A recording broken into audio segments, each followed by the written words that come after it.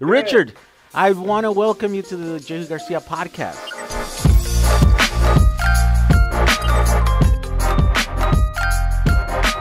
I've been a fan of yours. I've been watching your videos for a while. I know you're doing some pretty amazing conversions out there uh, in the UK and England, and uh, and What? since you Ah, Wales, not England. Wales. Oh, really? Is that what it is? Oh yeah, get that right. Oh no way! There's there, there's a difference. Okay, you're Oh, gonna yeah. have to school me because I don't know what's Wales. Uh, is that Uh, uh, separate? uh, uh, uh, I'll quickly school you. So Okay. the UK is Uh-huh. the United Kingdom. is made up of Scotland, England, Wales, and Northern Ireland. Ah, okay. So it's a separate island, No, or is no, it no, no. separate? It's in the same region, but it's it's just Correct. a okay, same body of land but different region. Yeah, if, if, Ah, you, okay, okay. if you call the Scottish English, you better Oh. have fast, fast running legs. That's all I'm saying. I see. We're gonna have problems there. There you go. yeah, it's like people calling us all Mexicans, right? But some some of us are Salvadorians and Nicaraguans, and you know, it's it's, we're all like we're the all the same people, but uh, know, the United States is made up of lots of states. Yeah. The United Kingdom is made up of lots of little states as well: Scotland, England, Wales, Northern Ireland. Wales. That's right. See, that's what happens. I gotta go visit because that's the reason why I don't know because I've never been out there, right? I've never been to Oh. Europe. Come, up, come Um, to see us. Just, just yeah. make sure you bring some like really warm clothes when you come. Not my regular T-shirt. Oh, Uh, so yeah, so you're in Wales and you are uh, you have a shop, and you create a lot of conversions, right? You Yeah, convert. Pretty much, I would say that the largest uh, conversion shop in the world now. I mean, we're converting like uh, probably about hundred cars a year. Um, No way! That's a lot of cars. Yeah, yeah. We've got about 16 cars in the workshop at the moment. Uh, getting. Tell you what, why, would, why don't I just show you? what? There you go. Uh, so yeah, we we got about 16 cars in the workshop at the moment. Um, there you go. Everything from like Oh, we're, we're all that. classic car nuts. So it's everything from uh, down in the corner over there. We've got a, a Land Rover Defender. Land Rover. Um, just underneath the cover here is a Maserati Ghibli. Uh, this underneath the covers, believe it or not, is a DeLorean. Uh, Wow. We've got a, a vehicle going out uh, on Saturday here. That's a finished Land Rover. Uh, where are we? Over in the corner there's a Porsche 944. Uh, there's another Porsche behind this uh, bit here. Uh, we've got another Land Rover about here. Uh, there's a Mini. a mini. Need- uh, there's a BMW CSI, uh, a Range Rover. That, that was about the third vehicle I ever built, uh, like I don't know, three years ago. Uh, that's just back for a bit of TLC at the moment because I've not seen it in three years. Oh, and I see a bus over there in the corner. Oh yeah, I thought you might see that. uh, so yeah, we've got a Mini there. That's getting a Tesla drive unit. Uh, now this is- Tesla drive unit out of all things. Uh, yeah, well, only a small small Tesla drive. It unit. It actually it fits like it fits like a glove. Um, really? Now this is a car you've never seen before. This is what's called a Gordon Keeble, very rare car from the '60s, um, a UK um, uh, car. That's a Gordon Wow. Keeble. Actually has a big American V8 that uh, was originally in that. That's Wow. it. And yeah, as you've already spotted, The. VW bus. It's a There camper. Yeah, it's, Look at it's that. beautiful. It's, it's all original. And then we got a, a little bit of a collection of finished cars over here. So we got Oh, Uh, there you go. It's a Beetle. that's the Beetle we converted in a day uh, last week. So we converted that to a day. Uh, and then we've got um, an Alfa Romeo Spider, MG Midget, uh, Fiat 500. Uh, that's actually um, Fiat Dev Patel's Fiat 500, the actor. Ah, uh, yeah, Dev yeah. Patel, he was in Slumdog Millionaire and Lion and some cool Yeah. film. hmm Just behind that is uh, a BMW Isetta bubble car. So, wow. Yeah, I think probably 15, 16 cars in here at the moment. So a bit- Wow, that's crazy. You guys are full production. And not only is are you doing these conversions, but you also have some kind of like video production, like a, a TV show or series or something? Yeah, yeah, we got. Oh, and we've got pretty cool chargers as well. It's like, a, Oh, look at that. um, yeah, so we got a TV show, um, which is weird.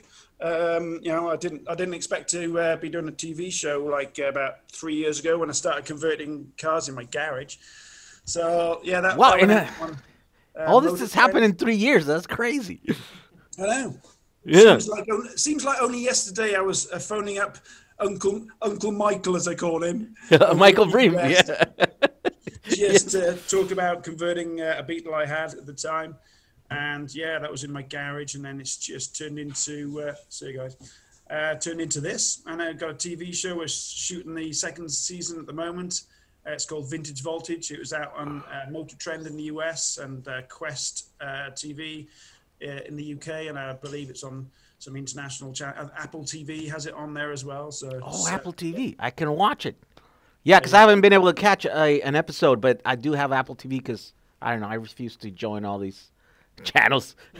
I'm like, I was in Netflix already. What do you mean I have to now join everything else? There's ten, 10 episodes in season one. Uh, I think we got everything from. Um, there's a. Uh, what is there? There's a motorbike in there. There was a Ferrari in there. Um, there was uh, a, a Porsche Speedster in there. There was uh, some pretty cool builds. Lancia Fulvia. Um, there's Wow. all sorts. Yeah, really cool cars. How does so? How does that work? Because okay, so for those of you who don't know, converting a car it's a, quite a bit of work. I I know you you said you got this Beetle done in a day, but I mean Beetles are the most converted vehicles on the planet, right? Like everyone's done one or whatever. So at this point, yeah, okay, you you have everything worked out. You put the battery box over there. It's got, you can kind of work it out, and but typically like a new car that you haven't done, it's a ton of work. It's a ton of engineering there's a ton of pre-fitting and you know all that stuff. So it's a lot of like actual work. Yeah. how do you do a tv show on top of that? So, because uh, because the tv show from the production side it's equally the amount of work right? So that means you have to have separate crews. It's a it's a huge crew that usually takes to make a production. I mean you you're talking about it could be anything between five to 30 people. You know what I mean? Depending on the productions and how good uh, their Sure. their their showrunners are or whatever. Um, how do you, fact, how do you- you're just missing one of the camera guys walking out the door there now. so- ah? I see. Do they live there with you? Yeah, Almost. I mean, what, what happened was, I mean, I was happily um, converting cars for customers, and uh, we were getting quite a lot of traction on social media. Uh, I noticed there was a lot of interest out there for what we did, and I, I, I haven't really watched TV in a long time. I'm like you, I got Netflix, I do on on demand stuff.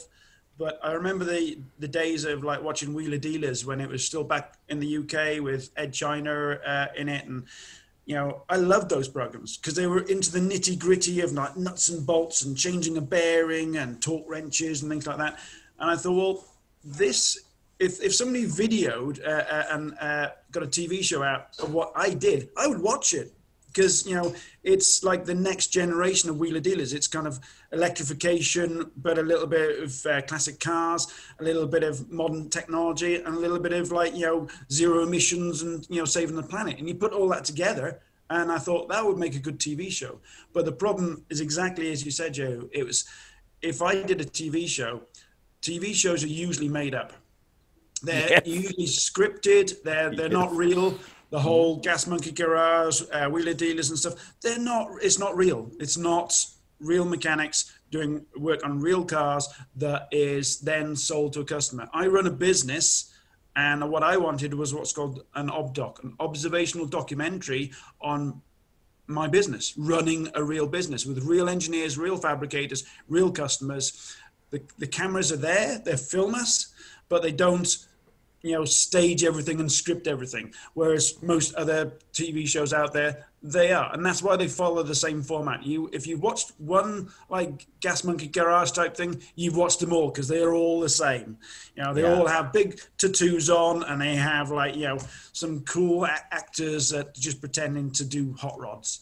That's Yes. not us. We're, we are warts and all. You film us building a real car, and that's what I wanted was a minimum impact to my business for a TV production company to come in. And luckily, we got Attaboy Productions. Now, Attaboy Productions they did Wheeler Dealers for about 13 years before it moved to the states and those guys are well cool. They are really on board with what we do, and they don't impact us too much. And they've been filming today as well, and yeah, it's just worked really well. So yeah, it's very strange to say I've got a TV show, but Oh, have. Yeah. Yeah, that is that is really weird because we toyed with the idea, right? I, over there, I was over there with Michael, and I shot a pilot that was for Velocity TV, right? So the Discovery Channel, and we would sit down and try to figure out how we would do this. But at the end of the day, it was like producers wanted to shoot a TV show and they want to optimize the whole production to shoot the TV show. And we're like, well, no, this is this is not a this is not just for the cameras. This is an actual project for a customer. This you can, you have to meet somewhere in the middle, but mostly no. There's there's no budging when you have to turn this into a, a real customer, right? Yeah. So so we could never really get together and meet in the in a right place that we can make it happen, right? And so at the end of the day, they were they wouldn't budge and we wouldn't budge. So we so I think it just never went anywhere.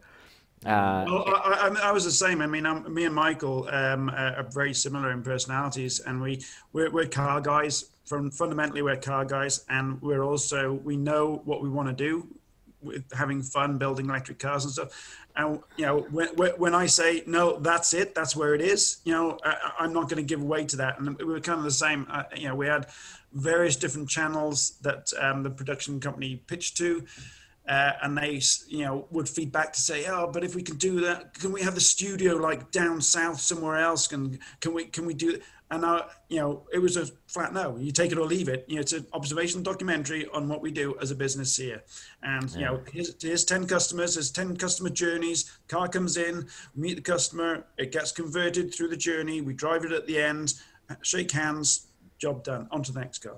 I and, see. Uh, yeah, we, no we drama, no drama, no throwing things around. No, no, no, no. Fights and uh, yes, you know. exactly, exactly what I said. I didn't want. No, no false drama, no false like um, deadlines. Oh, we've got to work through the night because like the customer's picking up tomorrow.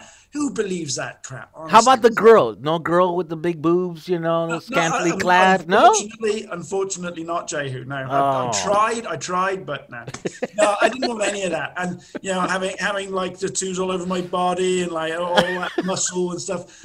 Believe me, there's no muscle and there's no tattoos under this. oh no, man! if it, if it was if it was the producers that we were dealing with, you would have shown up drunk half the time and you would have yeah. been crying and you know, yeah. It was Discovery Channel that um, commissioned it. So wow, um, Discovery Channel, um, Discovery Channel Network or whatever they're called. Um, so in the US, it went out on Motor Trend, which is part of their. Um, yeah, uh, Velocity TV turned into Motor Trend, so yeah, that's the same people. That's so weird. They said no to us, but they said yes to you. Hey, it's the looks. Bastards. You know, I got the looks, man. You got the looks. You got the sideburns. That's what it is. I didn't have side. Yeah, they basically told us that we that it was too early and people were not watching. Americans did not watch it because it aired. So I, I shot a, a, a half, uh, you know, a pilot episode, and it aired on TV a couple times, and they they just came back and they were like, meh. And so then I I was able to post that on my channel, and now it almost got a, a it's got like nine hundred thousand views right now. It's about to pass a million views, and I'm like, well, you know, it's like you guys, I don't know, you know, to me that's enough. I think you're right, Jo. You're right. Uh, it, it's too early in the US but in Europe, we're ahead of the game with EVs as far as like electrification and adoption of electric vehicles is concerned. I mean, if you're looking uh, towards Norway, for instance, I mean, that's like 85% of all cars over there sold in the last month were electric. You know, that's yeah. crazy numbers. If you talk to Americans, they're like, you know, 1% or less uh, cars are sold uh, that are electric. So if you pitched it solely from America to Americans, I think, yeah, they'd probably say, no, it's too early. But I was you know, I, I was lucky because uh, you know we're a European, like uh, UK based uh, company where electric vehicles are ahead of the game compared yeah. to the US, and it was picked up by a, a US network. So, I mean, yeah, I think that's probably the difference. Is we, we were coming at it from a UK towards the US perspective, whereas you were kind of like US to US people, and yeah, yeah. It, it, I mean, the feedback we had from the US um, Discovery Channel was, you know, it did well but it wasn't you know a huge success. But in the UK and other markets, it was a raving success. So wow, uh, it, it, I think the US will follow it. It'll come in the US. But we're uh, late. We're late to the game. Um, because you've got Tesla, you've got like uh, Lucid over there, You've got the the companies yeah. and the innovators over there, but the mass adoption is just a little bit behind. It's new cars too, so it's not the classic like the the classic car people are just still petrol heads over here. So you know, they those who we were trying to pitch to, right? Because it was Velocity TV, it's car people. Yeah. And they're like, electric cars? Yeah, get out of here. You know, your stupid batteries and motors, you know. yeah, oversized golf car. Um, but you guys have, I mean, those are pretty amazing vehicles you have there. So there's a pretty healthy uh, culture of classic cars in in the UK and uh, oh, yeah. right I mean, in England it's not just UK. I mean, we, we ship uh, cars to LA. I mean, um, uh, Dev Patel's Fiat 500, that's going to go on a ship back to oh, LA. no way. Oh, so you're yeah. converting one for, for LA. Wow, that's crazy. Yeah, yeah. Um, and there's another car in there that's going to the States. Um, so we ship um, all over from South Africa to Australia, New Zealand, um, uh, to the States, um, Caribbean. Um, so it's it's quite international, but we're, we're obviously you know UK based. So most of our customers are UK or European uh, focused, but we do get a lot of international clients nowadays. Wow, that's yeah, and especially with the TV show. It's it's I mean it's it's a big advertisement. I mean, you know what I mean? Like, I I I thought it would actually really explode the business with the TV show. But I've not seen that. If I'm honest, really, I, no, no. I mean, I, have seen it grow, and I've seen it like pick up a little bit because of the TV show. But was it because of the TV show, or was it was it just the mass adoption of electric vehicles is starting to really get going now? So yeah. I, I didn't see that huge like, oh my god, the TV show's out. It's crazy. Everybody answer the phones. It didn't really happen like that, um, which I'm pleased about. I mean, we got. you were already swamped. Yeah, oh, yeah, we, we, got 45 cars in the uh, waiting list. It's um, wow. So, yeah. What is, what is the timeline on the waiting list? Because I know Michael tells people five years. He's like, ah, come back in five years. Um, because Michael thinks more like he doesn't want to do the conversion shop. He wants he wants to engineer all these cool projects, right? And I get it because yeah. it's converting converting. It's it's uh, I mean, it's hard work yeah. yeah, dealing with customers and stuff, right? It's like, uh, and then every every new car that comes in, every customer wants to do the weird car that they have, you know, which is cool. They should. Um, but you're yeah, like I'm starting uh, from zero kind of thing, you know. We, we I think um, Michael does a lot more web shop than we do. I mean, we don't really do much web shop. I mean, oh. uh, I, would I would hazard a guess that uh, Michael's uh, business is probably 80% web shop, 20% like conversions. We're probably yeah. the flip. We are 80% conversions, 20% like parts that we ship out to customers. Ah, I see. Um, yeah, yeah. So yeah, I mean the, the conversions um, are you know, it, it's uh, it's not easy, that's for sure. Otherwise, everybody would be doing it. Yeah. Um, you know, the conversions are difficult from um, a number of standpoints. From the fabrication point of view, I mean, how are we going to fit these batteries where batteries didn't fit before? Uh, how are we going to safely secure them? So we've designed our own battery um, uh, boxes uh, for different types of batteries, from you know uh, um, Tesla batteries through to Cal batteries through to um, LG batteries. We've got our own designed uh, battery box internals that hold, hold them all securely. So you've got the fabrication um, stage of figuring out where everything's going to go. Then you've got the electrical sort of things of like, okay, now we've got the batteries in there. How are we going to actually wire from here to there and cable this from there to there? And, and that all of these is, um, you know, uh, you, you've, you've got this safety overhead all, all the time of like, okay, anybody can throw some batteries in a box, run some cables from A to B and make a car go. But if you're handing that over to a customer who's yeah maybe never had a classic car before and never had an electric vehicle before. And certainly um, you know just wants to get in it and drive it like a tesla. You need to make sure that these things are reliable safe idiot proof um, and, and, just essentially put a lot of r&d time into making sure that what you're producing as a, a package is bang on. And that's the bit that i enjoy doing. I mean michael's like it as well. He's an engineer likes you know coming up with new solutions and uh, overcoming problems. I'm the same. I really like to have that challenge of like you know a new car coming in that we've not done before. Okay how are we going to do this? Um, yeah. but uh, it, it's always with that overhead of like you know when this goes out the door if it's going to like america and it breaks down we got a problem. Yeah. So yeah. we need to always put a lot of R and D into making sure that the stuff is super, super reliable and not have any uh, uh, come back or, or, very little if there's something that can be sorted out. um, and uh, make them safe. So that's kind of the always our overarching thing in the back of uh, our minds when vehicles go out, which is why we put on new vehicles we've never done before. We we put like you know 500 miles on them, 1,000 miles sometimes to test them. Uh, over hot hot months, uh, cold months, because obviously we got a we got a climate. Unlike you guys, we got climate. You know, we can we can look out the door sometimes and have three foot of snow, and then other times, you know, it can be like uh, you know shorts and t-shirt and shades uh, weather uh, you know so we got to account for the fact that batteries need to be warmed up cooled down etc whereas you got a very nice ambient temperature over in california yeah, it's just always sunny in California. Yeah. Uh, and even when it's not, it's sunny. us. Send it to us. yeah. So, what did you? It's interesting that you said you're putting a Tesla motor on that Mini, uh, and then you're talking about reliability. Are are are we there now with these Tesla motors with the hacking? Because by the way, those watching that don't know, Tesla, well, these are motors that are taken off of a Tesla vehicle that it's either on an accident or whatever. And so then what you have to do is you have to hack it. You have to either change the hardware and then use your own software or flash, you know, take the old software off of the equipment and put new ones in. There's a couple of different ways to do it, right? And people are doing it and they're doing these controllers and stuff.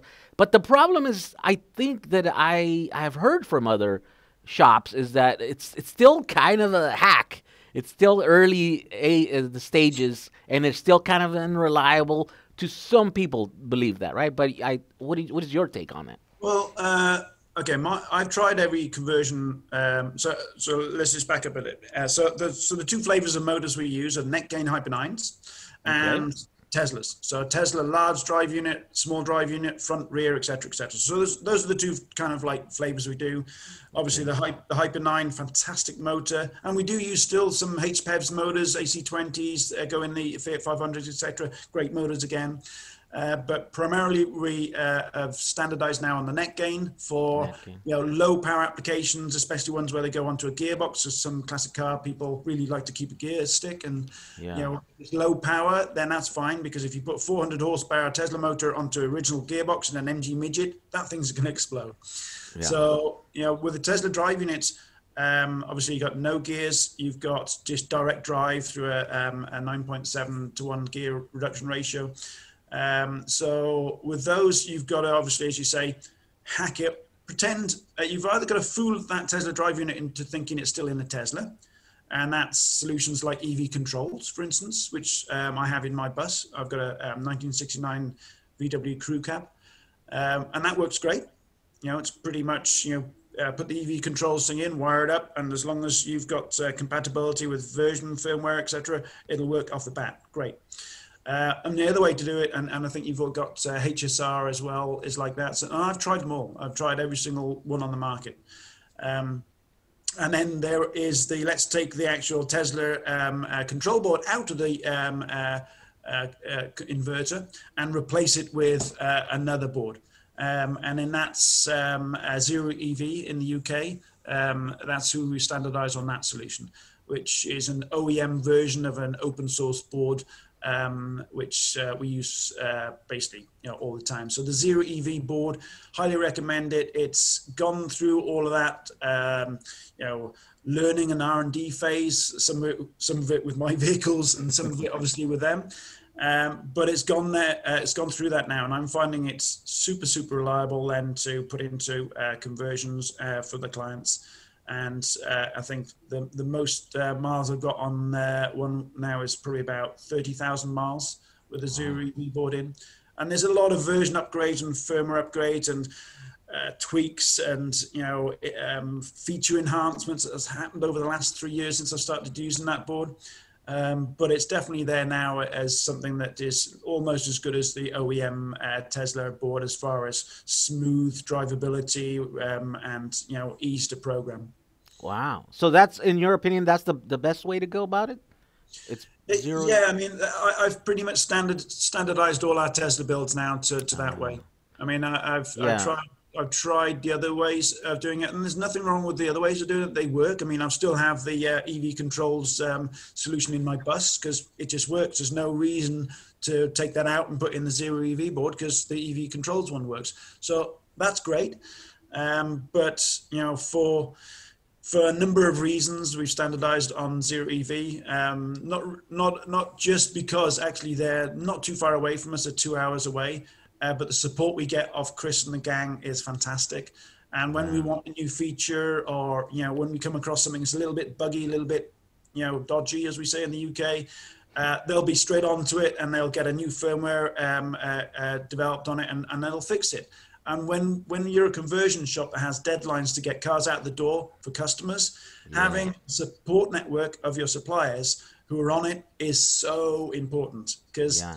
the the supply network for the EV conversion market in the U, uh, in in you know the world is it's flaky.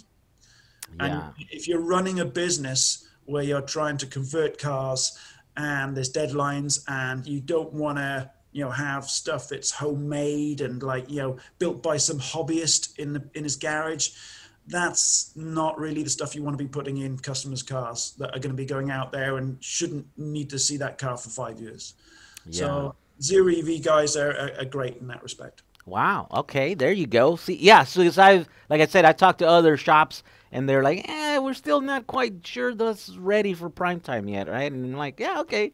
I haven't tried it personally in any of my cars yet, but that's the plan to put it on my original bus is to put a Tesla Drive, and I still haven't decided which one, which way I'm gonna go about it. And so now that I'm having conversations here with you, what, what have you got? What have you got in your splitties now?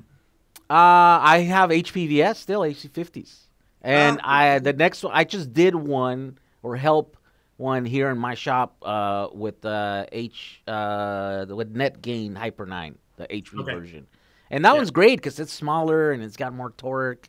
Uh, it was a kind of a learning curve to go through that, setting up the motor and you know doing the whole computer thing and stuff, and you know, uh, we still have an issue where we, whenever you step on the accelerator, the right. we see a signal in the brake. Yeah, line. yeah, yeah. I know that one.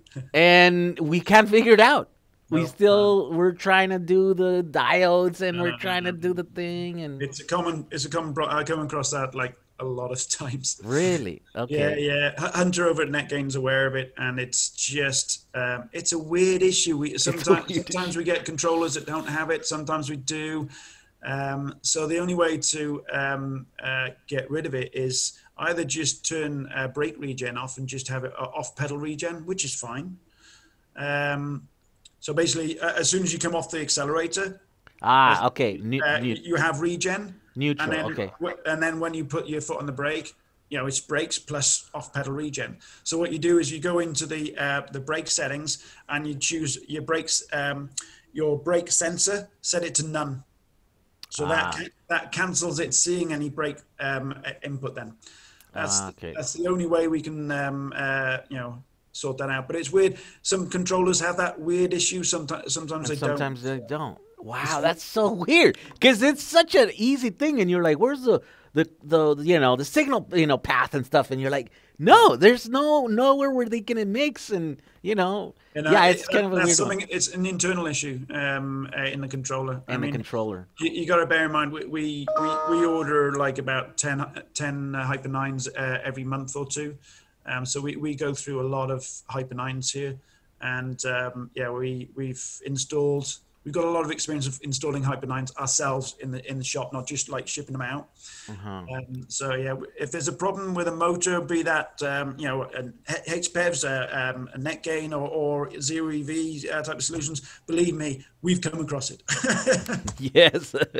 wow. Yeah. So it's weird because I know Michael was aware of it but he was like still under the impression that he, you could fix it. He's like, ah, no, you get some diodes and do the thing or something, right? And so we're trying all that stuff, and we still have the the, the client uh, scheduled to go down there somewhere sometime and see if you know they could fix it over there. But I, would cut your losses now and just keep it simple. Switch off Wow. Okay. So I might have to tell the client that and be like, "Hey, you just got it." What car's it in? It's on a 19. 73 VW bus. Uh, yeah, bay window. Switch it off. It's because the, the other thing I find is if you go too much um, heavy on the brake regen, in wet conditions and, and especially in winter conditions, you can lock up the back if you're not too careful. So with mm-hmm. the with the off pedal regen that you get with the um, uh, uh, Hyper Nine. Um, and then when you put your foot on the brake, you don't want to then put even more braking onto the rear wheels uh, mm-hmm. on a rear rear um, uh, engine or rear wheel drive uh, like a Beetle or a bus. So switch brake um, uh, signal off. It's simple. Yeah, we're gonna might have to tell him that he's still going through that right now. He's actually going through problems on the mechanical brakes because we have to remove. So we put a battery on the bottom. We put 14 modules on these uh, Tesla modules, right? So all at the bottom, right? And and so we have to make room in the bottom and stuff, and we have to take the booster off. And so then we move the thing, but he hadn't been checking his brakes, and I guess his car was like getting stuck and I for some reason he couldn't tell or something, and he would kept driving it until he broke an axle. So the, it's weird. The the Hyper Nine is pretty strong. That it's got it's a torquey motor enough to break an axle in the back because he just kept going. so, so, now he has to fix that. But uh, as soon as he does that, and then you know we're just trying to figure out the. So it's well, still little uh, issues here and there. I've broken some axles. Don't you worry about that. I, I my um there's two vehicles that's not there because they're outside parked, uh, or one of them's outside. One is my um, VW Beetle, which has a 600 horsepower performance Tesla drive unit in, uh, and, the, and the other is my daily driver, which is my 1969 VW Crew Cab, and that's got a 450 horsepower Tesla drive unit in. It's the green one, right? I think I've the seen the yeah, I've I've seen videos of you doing burnouts in the parking lot or something, right? So you can imagine I've broken quite a few drive shafts too. wow. Yeah, because those you have to. So by the way, the the the the Tesla drive motor is a motor. It's an assembly, right? It's a motor inverter, and then it's got a yeah. differential. Show you. So yeah, I mean it's it's a nice setup. I mean whether or not it's a large Tesla drive unit or a small. Um, I've got a small over there. I'll show you that, and I've got a large over there. So and so, then you you have to put axles on that, right? And you have to put like little stubbies, like in a little adapter or something. Which ones do you use? We we make up on our own. I'll show you. Ah, no way. Okay. So that that's that's a lot. Oh. For those that don't know, um, yeah. that's the inverter that side, and that's the motor. A lot of people think there's two motors, but obviously it's not. So you got a motor that side, inverter that side, and in the middle you got your gear set. Your gear set. It's a single gear, right? Nine to one ratio, nine point. I think it's uh, nine point seven three to one uh, from memory. And then over over here we got the fabrication side of things. So this is where all the battery boxes get made up and subframes and things like that, and motor mounts. And just on the floor down here we've got a, a small Tesla. That's the small one. That's the one that I want to put in my bus. That's a small front. Small front, so, yeah. Yeah. Because so because we front. still haven't gotten the the Model Three motors figured out, right? That's that hasn't happened. Uh, it's pretty much there now, yeah. So, oh, uh, you know, okay. You know, there you go. Um, so, yeah, uh, Chris down at Zero, Chris down at Zero EV is pretty much uh, nearly ready to, to roll that uh, solution out with a, um, oh. a, Model 3 motor support. But, uh, I don't want to steal his thunder on that, so he'll no doubt announce that uh, when he's ready. yeah, and and that's but, yeah, good news because there's way more Model 3s than there are Model S's, so hopefully the the price is going to yeah. go down, right? It's, the availability is much higher. It's, it's, it's, good news all around, I think. And it's a better motor. Uh, it, it, I mean, uh, the More Model efficient. S and Model X motors, they're induction motors. So yeah. they, they, they have to induce the magnetic field, so they get hot. Uh, whereas yeah. the Model 3 is more like the Hyper 9 motor. It's a permanent mag motor that um, is more efficient let, exactly there's less less heat that's uh, generated. So you know it's more efficient so that you get a little bit more range out of it. It's an alto, altogether better motor and, and, a more modern motor. So the yeah. sooner we get it and it's nicely packaged it's a little bit smaller and it's it's it's great. Not quite 600 horsepower like the, the big tesla drive units but it's it's it's a reasonable it's a sensible amount of power. Yeah. So just while i'm here i'll show you some of the um, things we do. So this is the fabrication. So all the guys have gone now, so it's nice and quiet. But this is where we make things like battery boxes up. Um, so this is a, a, mock-up battery box. So once we do a, um, a, a design of um, a, solution, if it's going to be a repeatable design, then we'll jig everything up. So this is essentially a jigged up nine, Porsche 911 uh, kit just on this bench here. So you've got essentially the Tesla drive units, uh, motor mounts here. They're all bolt on. Uh, you've got the that looks like the rear or the front. Um, uh, no, that's the rear battery box, and over there you've got the front battery box. So that's a complete Porsche 911 setup. And then just on the floor behind me here, you've got various different. Uh, that, that's a uh, that's a couple of uh, Land Rover Defender battery boxes. Uh, it's another Land Rover Defender front battery box. Here's wow. all the sliders where the um, Tesla, Tesla drive units go in.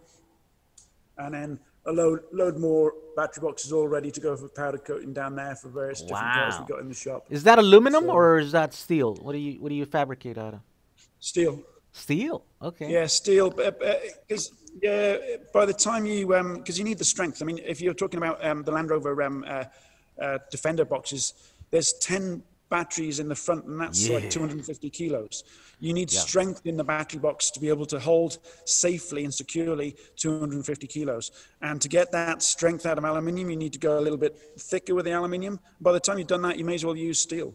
So yeah, uh, here's uh, a Mercedes SL. So this one, we just got this running today. Um, there's obviously a lot more snagging and everything that needs to be done on it, but essentially just having a look in here gives you an idea of what it's like. So you've got your main front battery box in there. You've got your service disconnect, which is obviously out at the moment. Your high voltage uh, connection there.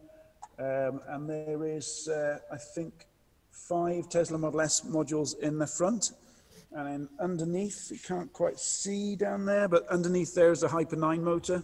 Ah, and Hyper 9. Come, come around the the interior is completely out at the moment. And then in the rear here, we've got, just take this out and put that on the floor. In here, you've got uh, one battery box there, and then okay. one battery box in the floor where the old um, petrol tank used to be. Ah, okay. What what will happen is we've got a um, essentially a, um, a, firewall or, or a bit of board that goes down there with carpet on. So essentially you'll have a full size boot in there. Um, but yeah, that's uh, that's about what's how many kilowatt hours? So you got ten. So it's about 50, 53 kilowatt hours uh, battery oh. pack in that vehicle. Yeah. yeah.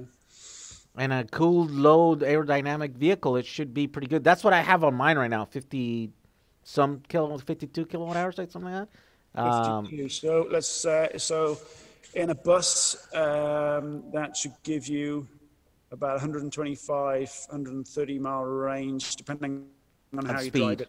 Yeah, I've gotten yeah, up to 160 hypermiling it, but I've also almost made it home. So uh, Michael at EV West is 91 miles away from me, and when I drive over there and then I come back at night, uh, the roads are open and I just step on it, you know. And I barely made it home, so I've barely gotten 91 miles out of it too, because I'm doing 70, 75, or you know.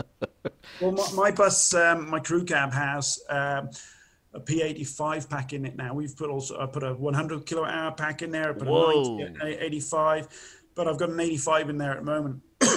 and I think the other thing you got to bear in mind is when people say it's a P85 pack the usable kilowatt hours is not 85 kilowatt hours you know so you got to take into account if you're putting an 85 kilowatt hour battery pack in it's not 85 kilowatt hours it 85 kilowatt hours uh, minus the because it's secondhand minus the you know amount Degradation. degraded degraded over time minus the usability factor so quite often an 85 kilowatt hour pack that's secondhand usually ends up being something like 65 to 70 kilowatt hours usable yeah. So in my bus, uh, 65, 70 kilowatt hour usable is uh, around about 200 mile range. Yeah. Um, just driving driving normally um, uh, with um, you know a roads, which is what. 50. Did you have to do anything to the suspension? Because an 85 kilowatt hour pack, uh, it's quite heavy, right? You're talking about almost 900 pounds, I think, of battery modules, right? Plus the boxes and all the stuff that you end up doing. So I mean, you got to bear in mind a VW bus, uh, like a Splitty, that one that's behind you there. That that I mean, I don't know what this is in pounds. I'll have to convert it to American. Um, so. yes. Uh, Wait, you're you're in the UK. You don't use pounds? Come on. so 2,000 kilos is what a split was what a split screen can uh, uh, cope Carry. with. hmm uh, and in pounds that is uh, 4,400 pounds. So fully laden, maximum uh, gross weight of a splitty is 4,400 pounds or 2,000 kilos. Now, um, that splitting out there in the workshop is 1,200 kilos as it is now in petrol form. And that is uh, 1,200, 2,650 pounds at the moment. 600, 2,600. Okay. Yeah. Yeah. yeah. Now, if now the plan is, and that splitty out there, we're going to put a 100 kilowatt hour battery pack in, How? and a small small Tesla drive unit. How are you going to put a 100 kilowatt hour pack? That's easy. It's Where? honestly, it's the easiest conversion to do, Jay. Uh, Really? Yep, it's the same in my bus. I mean, if it wasn't so dark, I'd show it to you. Where are you putting the, the, the modules? So in the, let I'll show you. Oh, okay. Yeah, So- So if I just finish off with the weight side of things. So at the moment, that split screen is 1,200 kilos, which is, what did I say? Um, 2,600 pounds. it's light, by the way, because the, the ones like the Sambas, they have the, all the glass and stuff, they end up being around 3,000 pounds. Yeah. So, and it's the same. If, if it's a crew cab, it's different. If it's a pickup, it's different. If it's a panel van, it's different. But usually the um, the campers are around about 1,200 kilos, which is what did I say, 2,600 um, pounds. Now, once we drop the engine, the gearbox, um, and the fuel tank out of there, and you've got to uh, account for fuel as well. So you'd say, okay, let's a fuel tank with fuel. It's going to be dropping around about 200 kilos off it. yeah. So you're dropping that weight down then to about a thousand kilos once you drop the dirty, smelly stuff out, and a thousand kilos is two thousand two hundred pounds. And then we're going to add a complete 100 kilowatt hour battery pack plus battery box because the battery box weighs a bit, Yeah. plus uh, a Tesla drive unit, plus you know coolant system and the bits and pieces that come with it. And we're going to be putting back on something in the region of about 500 kilos. Um, so that will then take it up to 3,300 pounds. Oh, So- okay. That's not bad. Exactly, it's not bad Not because bad. You, you, get- you, you'll still have now. Bear in mind that's 1,500 kilos with a 100 kilowatt hour battery Oh, he's good enough. He's good. Pack in, Tesla drive unit in, small Tesla capacity is um, or, or maximum weight can be 2,000 kilos. So still got. Oh, you're still there. Yeah, it cut off a little bit, but Yeah, yeah. you're It's- back. so I'm at the opposite end of the workshop. So yeah, even though we're putting in a um, 100 kilowatt hour battery pack, we still have around about 500 kilo, kilograms of uh, load carrying capacity, Cargo. Yeah. which is fine. And that's about a thousand, uh, twelve hundred pounds or something like that. That's a that's that's you and your friends. In Americans, 500, that's it's- about yeah. five Americans. Europeans, you're talking about more like seven or eight. I'll, I'll show you where it goes. So um, this this is a beautiful. It's all original inside here. So if I just open this up, the uh, the interior is just. It's all original. oh wood. yeah, it's got yeah, it's all set up for camping. Yes. Uh, it's, it's even got the uh, The, The original, yeah, uh, look at that. Yeah. Oh man, that's those are awesome. Those are So- awesome little vehicles. Let me uh, let me show you why it's. Uh, let me uh, just grab. Uh, ah, I was going to grab a uh, a tape measure, but it's it's gone. Um, okay, so you see that box down there? Uh huh. So Oh, I that's the see. drivers there. That box is literally exactly the right size to fit a complete Tesla Model S battery pack. No way. That box itself, that box alone? Yep. So No what you've got is from there to there is 27, uh, 27 inches. Okay. A Tesla Tesla Model S module is just uh, I think about 26 uh, inches. Yeah. So by the time you put the bus bars on the front and take the cabling around the side and stuff, you're probably going to be coming out to literally about there. Yeah. So okay. maybe half an inch, half an inch more, but uh, uh, that's about it. And then height-wise, um, uh, so yeah, you're talking about a Tesla uh, module on its side. It's about a foot tall, and that, believe it or not, is exactly a foot tall. What? Oh, you're gonna put him standing up like that? Yeah, So, all, and if you stand them 16 all the way across like that, it literally comes to right there. Wow. Okay. So I It'll, be, it'll all be hidden underneath that uh, uh, cabinet there, underneath that seat. Oh wow. So it's gonna be kind of front heavy. It's, Um, it's literally mid mount because if you look, It's mid-mount, that's, yeah. That's literally bang on in the middle of the vehicle. So in, in my in my crew cab, it's exactly the same, and it handles great because all the weight's in the middle. yeah. Okay.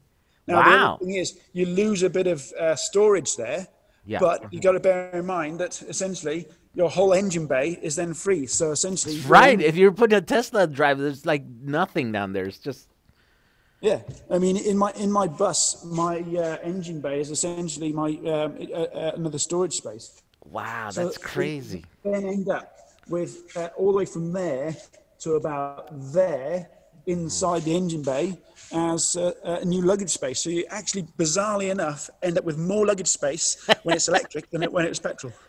No way. That is going to be a pretty amazing. So here's the thing. I thought we were like cool because we put 14 modules on a bay window, right? And we put them all on the floor. So we didn't like it's so on the inside that bay window set up similar to that. It's got the little kitchen thing and the sink and the stuff, right? So we didn't go in the inside at all. So we didn't lose any of that. And then at the bottom, it's all evenly. I think it was a little bit front heavy, so he has to figure out how to lift it up a little bit so it's uh, back to stock height. Uh, and that's cool. But I mean, you're doing that on a split window and you're putting 16 modules. That Yeah. is that's that. I don't think nobody's done that. I know that Zelectric's done a few conversions out here, and they've never. I've always been like, come on, put more battery in there. You know, it's like, what is this? You got 60 miles, 80 miles range. It's cool, but now, come on, you know. Well, if Um, you go if you go on our social media, like Instagram, Facebook, and Twitter and stuff. You, if you go back like about a year, maybe two, you'll see how I did my bus. So you'll see uh, underneath the back seat, um, like 16 modules lined up like a pack of cards, and the bus stop yeah. between them. You'll you'll see, and it just it's it fits The like crew cabs are a, a unique thing because they have all that giant space in there, right? Like I know Michael has a crew cab and he has a bunch of batteries in there too. Uh, and they're right in the middle. I mean, it's a perfect for the battery spot Yeah. there. Now, now the challenge is when you go big batteries, you've got a lot of batteries to charge up. So you Yeah. can't go with like a J1772 charging up like at you know uh, six kilowatts or whatever. 'cause It'll just take like three days to charge up. yes. Uh, what are you guys doing?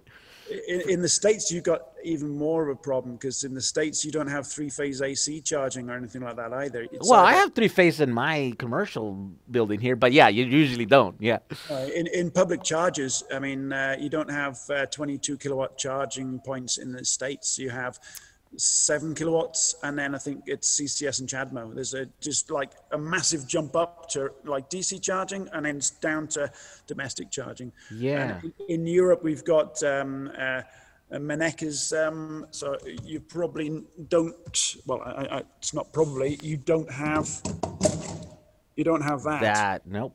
And if you no, no. notice, there's three phases. You, so you got like uh, phase one, two, and three, and then you've got neutral and earth. Neutral and so earth, that, yeah. that means you can have three seven kilowatt charges in the vehicle. Ah, That's like 20 kilowatts.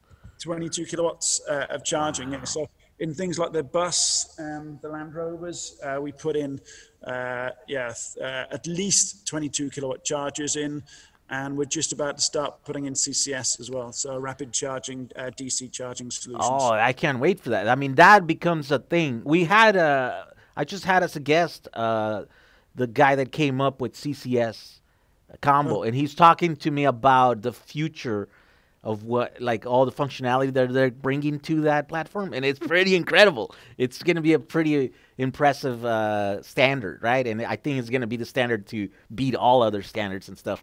Uh, and so, yeah, if you can make the uh, uh, classic cars have compatibility with CCS, oh my God, that's going to be amazing. The, the first vehicle that's having it is um, uh, it's actually going to be my test vehicle. It's uh, one of one of my test vehicles. It's actually th- this uh, this down here. Uh, it's a Land Rover. Land Rover, there you go. So it's a Land Rover Defender, and that's going to have the CCS um, on it. Uh, going to start putting the body back on. The body's just a paint at the moment, uh, but yeah, the um, CCS is going on that uh, probably in January. Oh, that's going to be awesome. You're going to be able to travel anywhere you want to go. Fast charge. Well, I, I, I've been driving my electric bus for I don't know what three three years at least three years as my daily driver. I don't have any modern cars. I, I never really have. Uh, so my my crew cab is my daily driver, and I've driven that everywhere from like to London to you know okay you don't know the ge- geogra- ge- geography Yeah. but, you know, it, it's a it's a good distance to London and I've, it, it it works on the public charge infrastructure and that has 22 kilowatt charging Ah, okay. Um, well, 22 is pretty fast. Yeah, you're right. Over here, we have that problem where it's like slow or high, and we haven't had uh, uh, Yeah. access to the high But charging. The, the, the problem is we, we have uh, with the larger vehicles like, like the we got a Defender there and we got another one there and a, another one there. They're pretty popular uh, vehicles. I mean, we've always got two or three Land Rovers in the shop at any one time, and we're we're starting to ship kits over to the US now. So if there's any uh, customers out there that want an electric Defender, contact uh, ECD. So uh, East Coast Defenders. Uh, we started shipping out our electric conversion kits out to those guys, and they've started. oh, no them- way. You have a dealer in the Yeah. U.S. Look Yeah, at yeah, that. There They, we go. they, they built some beautiful vehicles as well. Check out ECD. Um, they're down in Florida, but uh, I think they've got uh, places in California as well. But um, I just want to show you what the um, conversion of a Defender looks like. Um,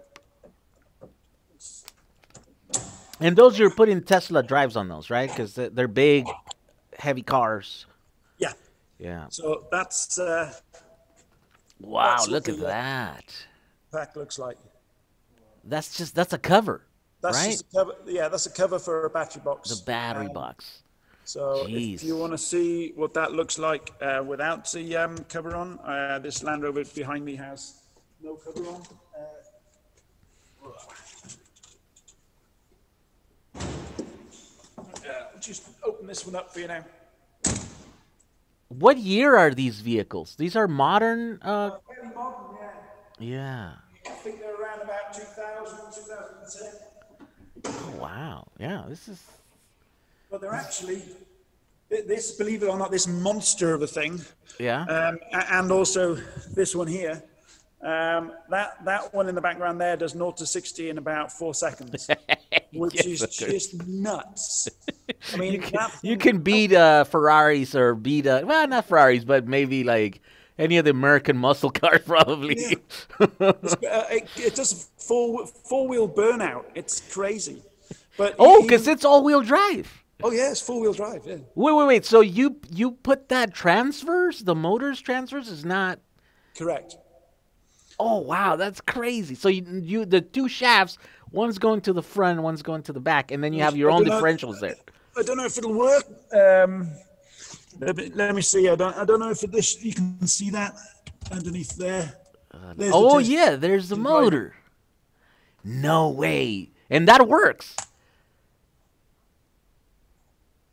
Oh yeah. That the only works. thing you need to bear in mind is uh, the gear gear set needs to be changed. So you can't run the original gear set because you've got uh, a, you know nine to one gear set in there running then to the uh, gear reduction that's in the axles, which is 3.4 to 1 or something like that. So if you don't change the Tesla gear set, you'll end up with a max speed of like 50 odd miles an hour. You'll Ah, get so to you- 50 miles an hour very quick, but it'll be max speed. So you've got to change the gear set in the Tesla drive unit to 4.5 to 1. ah, okay. So you have taller you gears. Yeah. Gear ratios. Ah, I see. Yeah, because now you have two different gearboxes, one in the front, one in the back, with their own differentials and the whole thing. Wait, so you also have to change the differential on the Tesla, right? Do you have to put like a limited slip or change it to something else?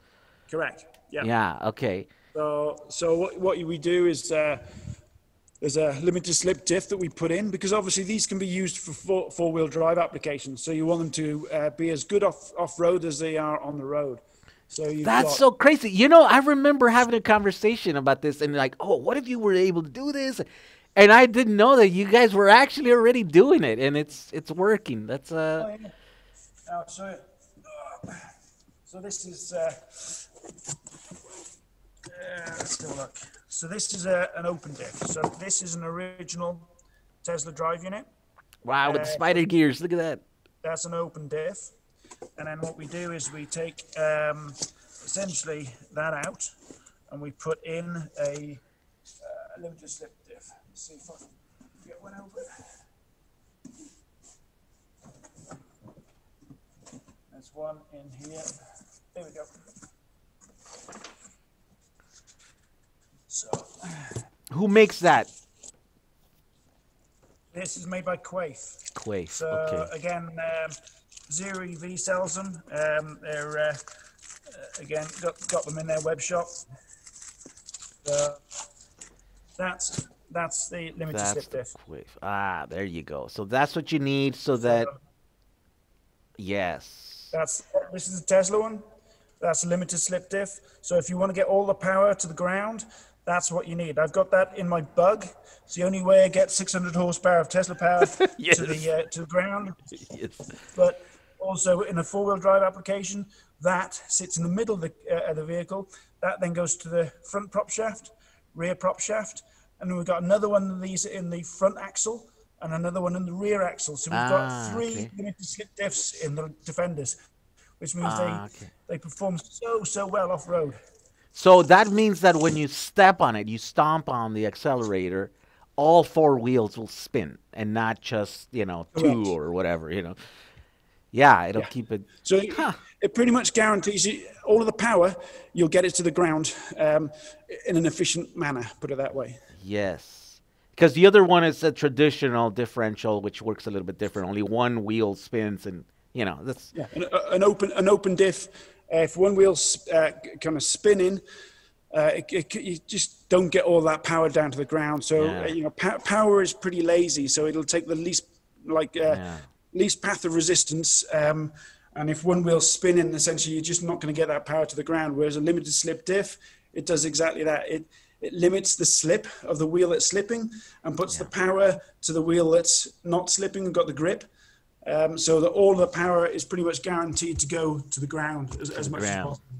Yeah, it's just a more advanced, different, different differentials, you know. But wow, that's pretty crazy. And and those are modern vehicles, you said, right? And do they have a lot of electronics? Do you get into all that stuff, or these are kind of like toned down, like kind of classic cars, just made in modern Um, times? They they they are. I mean, yeah, we, we do get um, uh, CAN-based vehicles. I mean, e- even that Merc out there, that that's a 1990 something, I think. Oh yeah, 90. We, we we only, I mean, we, we're pretty much uh, concentrate on uh, classic cars from 1950s, 60s, and 70s, maybe early 80s. But the exceptions are uh, a vehicle like that or that Alfa Romeo Spider, because that was essentially made from the 1970s through to the 1980s, um, and nothing really major changed over the years Ah, in that. So, you know, although there's some modern um, dashboards and things, we can deal with it. Uh, and now in the Land Rovers, you've got um, you've got CAN communications for the uh, uh, systems. You've got ABS. You've got traction control, things like that. But what we've done, uh, see if I can turn this on.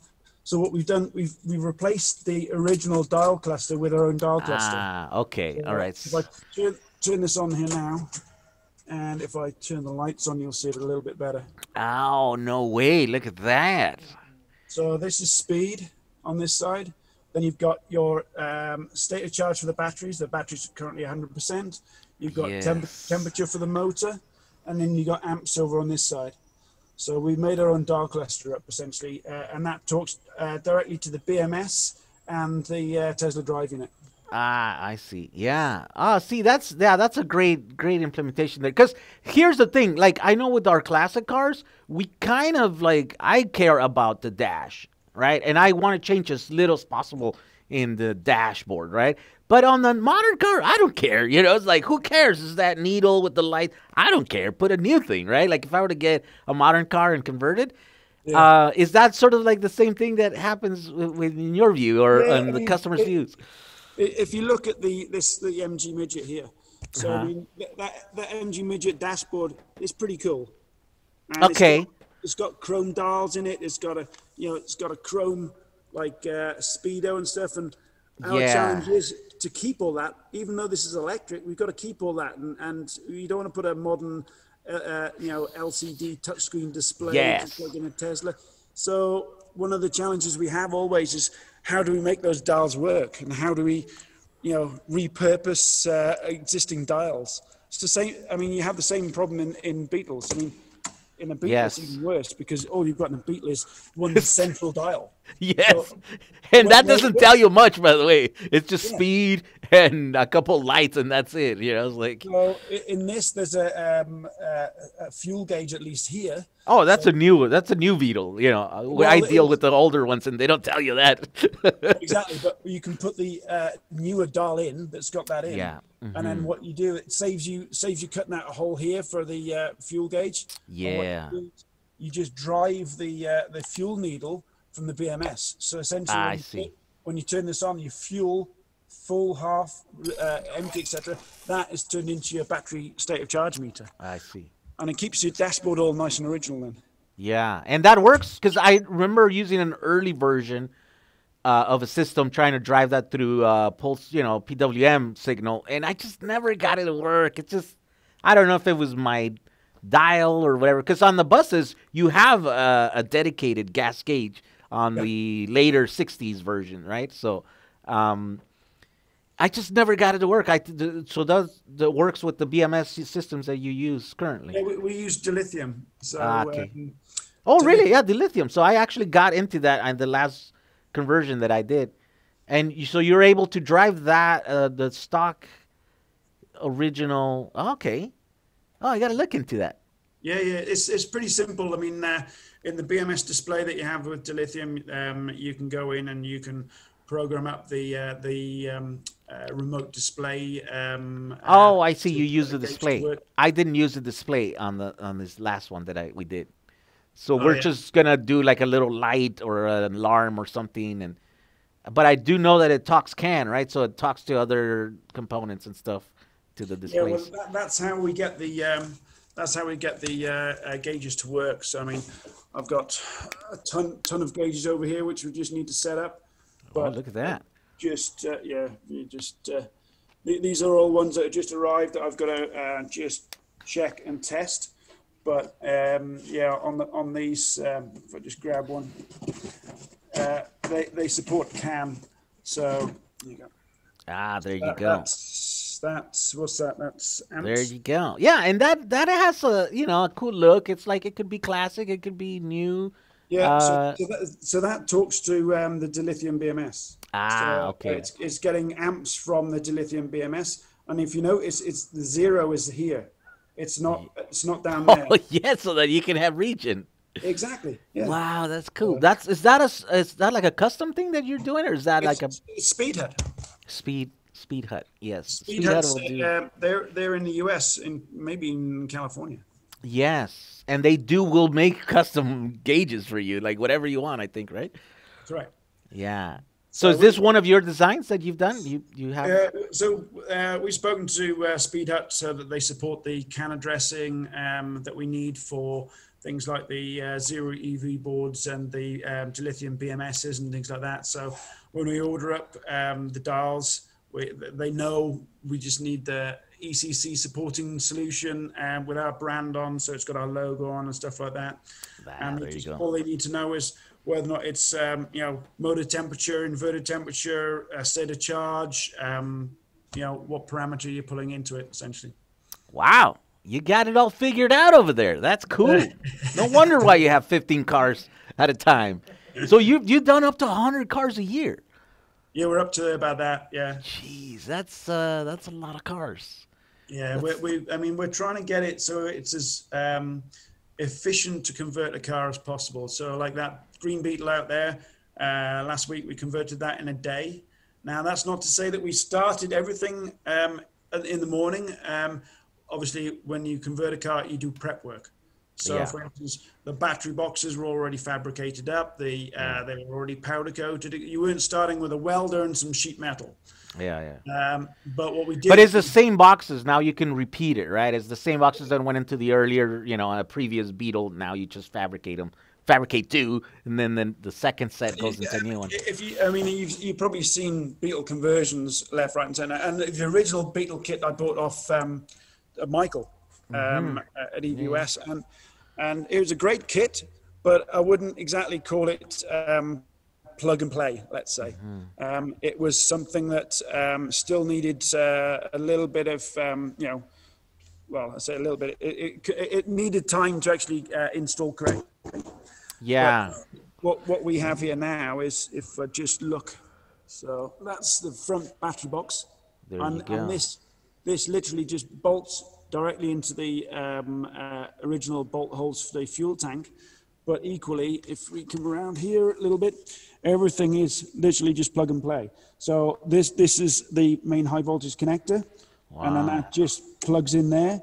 Uh, around the front, you've got another connector for the CAN, just down there, and then you just plug that in, plug that in, run the cables to the to the rear box, uh, and then uh, all the contactors and all the stuff that uh, I've seen um, uh, in the US. Uh, you put the contactors sometimes in a separate box. Yeah. Well, we try, we try we put all that into the uh, um, battery boxes, which Ah. means that the battery boxes go in, and then the high voltage cables come directly out, then to the into the the motor. motor there. There you go. Yeah. See there. See, I think he changed that now. I think he's putting all the contactors inside the boxes now. Yeah, it, it Uh, makes everything it makes everything easier and uh, for the installer, but also safer. Yeah. And that's how the OEMs are doing it, right? So we are like, yeah, if that's how they're doing it. Tesla now, the Model 3 has everything included in that box there. Look at that. there you go. So that's the one one day job right there. That's pretty Yeah, cool. we converted that in one day. Um, uh, we started at 8:30 a.m. and we finished at around about 11 p.m. And to be honest, we would have been finished around about tea time, so 6 p.m. if it wasn't for the usual classic car Beetle issues. Nothing to do with the conversion. It was just usual, like somebody's modified the car in the past, done done Yeah. some weird stuff to it, which caused issues. Uh, they put a for some reason they put a, a really early 60s gearbox in which Oh. caused some problems. Um, they had an air ride system on it in the past so there was these brackets in the way of things so it needed to be sorted out. So no, nothing nothing that doesn't normally happen on a conversion. There's always spanners that are thrown in the works for a 60 year old car. Somebody is bound to have worked on it in the past and done something a little bit dodgy. Yeah. uh, but the problem was because we were converting it in a day, you know, we didn't have the time to mess around and like sort that out. Well, we, we had to sort it out, but it just delayed us by three hours. So, is that fun gonna have uh, uh, an episode of Zone on the TV show? yeah, yeah, they Oh, filmed it. okay. Yeah. All right. We want to see that. Uh, That that's not part of the TV show. They're going to put that on YouTube as a separate um, episode. oh, okay. That one's not exciting enough. Well, it, it's it, that's a competition car, so somebody's going to win that. Uh, oh no so- way! That uh, Uh, is if, that you're, if, you're in the UK, you can enter the competition. If you, uh, you uh, Octopus Energy is a, electricity supplier, Oh, see. and if you're uh, part of Octopus Energy and you're, you're a customer, you can enter uh, the competition. And I think they're announcing it uh, 30th of December. They're announcing the winner. Oh no way! Okay, so you're doing a giveaway with someone. You partner up with the the company and stuff.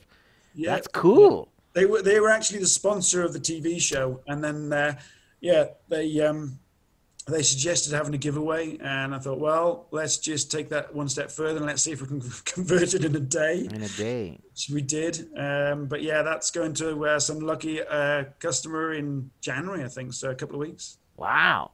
I gotta move to the, the UK to, to enter. So, you know what was the crazy? Like, uh, have you done like restoration? There's this one company in Colombia that does all the panels, all the you know like like the sheet metal panels. Yeah. Uh, called funky green metal or whatever. So he came here once and he wanted to do that. He wanted to convert a car or a bus. Well, he wanted, he didn't want to convert a car. He wanted to build one from scratch. You see, now they make all these parts, right? Every single panel on a on a bus, uh, frame, rails, everything. And so that he wanted to do like pre-assembled sections, and he wanted to take them over to SEMA. I don't know if you know SEMA. Yeah, it's a national, you know, car show, one of the biggest ones here in the states. It happens in in Vegas every year. And so he wanted to go there, show up with parts, and then there at the show, you know, it's like three days, four days, I think, and they he wanted to put it all together, weld it together, and then he wanted me to work uh, with uh, in making it electric, you know. And then he- I put the battery box and the bat, the motor and stuff, and then you know, at the end of the show, we we walk away with a running car or something. and we were gonna do it this year, but COVID nineteen happened, and you know that derailed the whole thing or whatever. but it, yeah, make the funky Klassic Fab. Uh, that guy makes all the parts. So if you, like probably almost there's probably no buses in the world that don't have at least one of his parts almost at this point because they rust away, right? Uh, especially over there in England, they they rust away with the and so they they put the stuff in here, and he was. Uh, we were talking about that last year, and we're like, "Yeah, let's make it happen." I go, "You do the bus, I'll do the electric conversion. I'll show up, and you know, we put it together. We could do it. We if we work this stuff off before, you know, pre-build the body boxes and do the the cables, pre-run the cables and stuff with the connectors, and we should be able. It, it, it only takes one little snag to screw everything up, though. That's the problem. And Yeah. uh, yeah, it's the same with us. Like last week when we did that, it was it was only one issue that uh, meant that we had to pull the motor in and out like five times. I mean, yeah, we've done enough. We've done like ten odd Beetles, and yeah, we, we know what we're doing. You know, it goes in and it goes in like that. I mean, I can drop a Beetle engine probably in about three minutes, and Yeah. you know, for us to have to put that in, then figure out something's not right, and take it back out again, and put it back in, and like you lose so much time just with one little issue like that. So it, I'd say, Jehu, it's definitely possible to do it, but It's a challenge. just plan for failure. yeah, we definitely didn't plan for this failure because COVID nineteen just threw a wrench in that whole Oh, plan. yeah. That whole show didn't happen. I mean, it was crazy. The whole thing got canceled. Uh, but who knows? Maybe there's, it'll there's happen next year. few. There's the Beetle, um, and obviously the bus. You've seen how easy that is now with a single battery box. You put it in, slide it in, the connectors go in underneath. Yeah. Um, Which connectors are you using, by the way? uh, those big, high- massive high, vol- high voltage connectors. Yeah. Yeah, I haven't seen anything that I like so far. Uh, we're using, we're still using like those big Anderson connectors, you know, like that stuff from from the Yeah, forklifts and stuff. The, tr- the trouble is with um, the US and European, there's uh, the conversion market in the Europe is more regulated than in the Yeah. US. Uh-huh. So you can get away with pretty much like Whatever. anything really. Yes. That's the Uh, great thing about California. They don't care if it rolls. You know, like I'm running. Like they never inspected my bus, any of my buses. They're like, oh, we don't care. You know, just Now, the, the problem is with that is um, it's okay for people to know what you're doing, like you, um, but there's people out there that might think they know what they're doing and might be building a death trap. yeah. I mean, you know, there, there's people I've seen on YouTube, um, some idiots that like, you know, charged up some Tesla batteries and it went on fire in a workshop. I'm Yes. thinking, guys, Yes. you should not be messing around with electric cars if you don't know how to charge up a battery with a BMS on and do it safely. Stop Yes. doing that. You will kill yourself or worse, other people. And, you know, you know, I had him in the in the podcast. He was one of my guests. Oh, oh, I, I don't know. I, I, I, I watched it once and I just held my head in my hands and thought, that yeah, guy- we all did that. We're all like, "Oh no, you idiot!" We're like, Yeah. So I've been like that. Um, they worry me because um, Yeah. it only takes one accident to like have a fire in a garage and set the house on fire for like regulation in the US to come down on the conversion market. But Yeah. in the UK and Europe, there's more tight regulations to kind of prevent that from happening. So you're talking about the connectors. We use those connectors because that's what the OEM com- companies use. Those big orange connectors with insulative, uh, like um, uh, clamps and things like that on. Yeah. We don't use that for you know for any other reason than uh, you know it's safety. We have to have safe connectors like that and safety s- service disconnects. yeah, Um, so on some uh, service disconnects, I mean, uh, the service disconnects you, you might use in the US with those big gigavac like on off. ah, yeah, mm-hmm. yeah, yeah. In the in the UK and Europe, um, you can't use that because essentially the the other ends are open. You can The other ends are end open. open. Yes. So you know the, we have the to put them in boxes. Exactly, yeah. Yeah. mhm. Um, but e- but equally, they're not really designed for EVs. It's, Yeah. that's designed for a high voltage uh, isolation on like a, um, a distribution panel in a in a switch room in a Walmart store, for instance.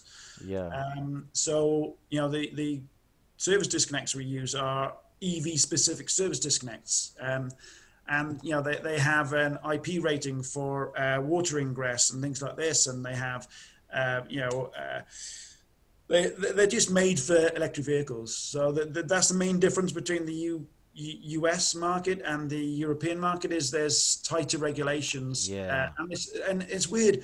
Although the EU is supposed to be like this one rule for all for trading within the countries, it's not so in uh, and you know obviously the UK is just about to come out of the EU, but in like some countries in the EU, it's more tightly regulated than other countries. Yes. So you've got like countries like the Netherlands where you can convert to certain standards, and then you go to other countries in Europe and it, it basically you can't. I mean, it's it's really bizarre. And in other countries, it's like the US. I mean, it's just there's no level rules, but there are rules in Europe. Whereas in yeah. the US, it's definitely more like the Wild West. Yes, it's like here we don't they don't care. It's it's uh, I guess it's the only part that I'm like, because California is highly regulated. It's about the most regulated state in the, the in the states, right? Uh, except when it comes to that, and I'm like, oh, this is like a free state. You know, you can do whatever. I'm like, great, because you don't they don't hassle us. You know, we can let us. Other than having to be it gets a little bit com- uh, complicated when it's past like 1975 because then now you have to change it you have to register as an electric. Before that they don't care. Like you can literally because like classic cars here are not regulated for emissions. So my bus i don't have to register. They don't i don't have to tell them that it's electric. They don't care. They're just like do you, you, you have like um, mots where you have to take it to a test center every year to make sure it's still okay and safe and like the no. lights work and no. Nope. that's nuts you literally, they don't care if it rolls, if it doesn't roll. I registered this vehicle. They never even looked at it. It's crazy. I'm like, what? Like, there's no, wow, they don't care. They're just here, pay yeah. your fee, and you run it. Uh, I mean, you know, to tell you, these are death traps no matter what you do, because just their class, they're, I mean, there's no crush zones. They're, you know, especially now that you convert them to electric, they can move, they can go. Oh, so yeah. you know, so they move. They're they move, and that's not a good thing. I think the the safety, the original Volkswagen safety features, it was an undersized engine, underpower yeah, engine. Yeah. Well, so you, the, the thing is, I mean, uh, people have been putting V8s in like and hot rodding vehicles to go faster uh, since vehicles, you know, were invented. I mean, hot yeah. rodding was invented in day two of the invention of the automobile. Because yes. on day two, that guy woke up and thought, "I know how to make it go faster," and that's when hot rodding was born. Yeah. Yeah. So people have been putting V8s in like uh, you know buses since the '60s to make them go fast. So that's nothing new. Putting a Tesla motor and making it go fast. But yeah. what's different is the fact that if you open up, um, you know, the battery box and touch A and B, you will die because it's yeah. 400 volts and that's going to end badly. And yeah. that's the difference is, you know, uh, most people that work on like V8s and things like that, they know not to stick your finger into a fan belt. They know not to smoke a cigarette when they're like, you know, uh, working on a fuel tank. But most people that are converting a car to electric, you know, they know that electric will give you a shock, but are they really trained in high voltage like uh, systems? Probably not, but they yeah. think they know what they're doing, and that's the bit that worries me in the DIY market is that a lot of people so far have been fairly lucky. Um, yeah. But, um, regulation, I think, is a good thing um, uh, in, in, the DIY electric vehicle market because it's it, there will be at one, you know, there'll be an accident, and yeah. Uh, you know, it'll end badly for somebody, and that's not going to be good. I mean, for instance, our battery box boxes here, they're sealed. So somebody can't just like get into the batteries and go, oh, wonder what's in here, or, or some child pl- playing in the car can't lift up a thing and go, oh, look, what's that? Touch, touch, bang. You know, so our battery boxes they're sealed, and even if you like, you know, go out of your way to pull some things off and take a connector out, the chances are you still won't get a shot. So yeah. Uh, yeah, if you put the the contactors inside, that means they're off. So that means even the the the connectors or the pins that are there, they're not electrified, right? If you disconnect yeah, the, I mean, you literally data need, cables. You literally need to go out of your way to try to actually get a shock, and I mean out of your way, because if I grab one of the uh, uh, connectors, I mean, you've got to stick your fingers, you know, you mean if I grab one here, back to the office. I'll show you now. Oh yeah. So yeah, it, it, it's um, it's a big thing. I mean, you got to bear in mind we're we're not DIY hobbyists anymore for what we do in my business. We're we're essentially converting cars for clients that you know will be expecting you know, to be able to get in their car and drive it as a daily driver like I do with no yeah. reliability or safety issues. So you've got connectors like this, for instance. So this is one of the main sort of like high voltage connectors. So this would be sitting on the battery box. Yeah. And essentially that would have your, um, you know, 70 mil cable or whatever coming out of the airbags there. And essentially, if I undo the clasp, it's a two-handed job. But essentially that goes on there like that. And then that then clips down onto it. Yeah. Now, even if somebody took that off and you looked inside there, if you touch that and that, it's not a problem. But if you you literally have to stick something in there and in there and then touch those together to get a shock. Yeah. So you, you've got to go out of your way to kind of like, you know, get a shock if you like. But having, yeah. having said that, actually, I just realized if that happens, then you've got, um, I don't know if you can quite see it, you still won't get a shock because essentially there's a little sensor in there and there's a little wire at, at the other side. And if it detects that this isn't connected, then it will internally the contact will make sure that this is dead. It's so yeah, even, even, then you can't uh, get a shock. Yeah. Um, so you've you've literally got to kind of get your tools out, out or cut into the box to be able to um, you know have a bad day. yeah. Yeah, and it's the same thing with these uh, EVSE charging cords. They're smart cords that they're off. They only turn on if they have communication with the car, and then they say, "Hey, you're a car. Okay, you're going to charge. How much power do you need?" And then they turn on. So if you drive over that cord and you cut in half, you won't uh, get electrocuted. That's the whole reason for having that box in your garage that yeah. has contactors so in, in, in the in the um, charge cables you've got what's called pilot and proximity. Yeah. So, and, and, the pilot and proximity sorry the, the, the, the, pilot and the proximity pins are a little bit longer than each other. So proximity detects that the cable's gone in so this one here. And then the pilot does what the pilot does. It takes over and drives the thing so essentially, the pilot then drives and essentially decides, well, how many amps do you want? Well, I can give you this amount of amps, and you know, so on and so forth. There's a bit of handshaking going on. But yeah. if if the cable's still in the car, for instance, and this is where you get into things like um, uh, uh, safety interlocks and things like that in the vehicles. There's a lot of safety interlocks and safety systems that are in our vehicles that probably aren't in the states. Um, but some of the very basic ones, which probably are in the states, are things like a pedal interlock. So that means that if the cable's still stuck in the car and you come around the other side and you forget the cable uh, charging the car up and you turn it on, you can't drive away you can't drive away. it knows that the cable's still in there. And yeah. there's, I think there's about eight different safety systems like that on our cars to make sure that uh, the vehicles are safe to drive uh, to drive off essentially. Yeah, yeah, that's important because not you drive away with your cord, you rip it off the wall. yeah, exactly. like yeah. many Americans that run with their uh, with their with the, that happens every year. By the way, the people that put the uh, the they're filling their gas gasoline right, and then they, yeah. they forget about it. They drive away. they totally that happens.